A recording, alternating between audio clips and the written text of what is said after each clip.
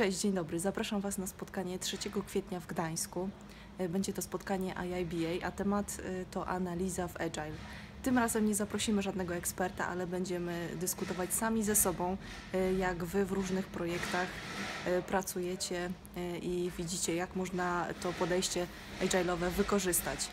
Będziemy dyskutować na kilka tematów, podzielimy się na kilka grup, tak żebyście też dobrali sobie temat pod projekt, pod takie środowisko pracy, w którym jesteście. Także zapraszam serdecznie i widzimy się 3 kwietnia w Gdańsku. Do zobaczenia.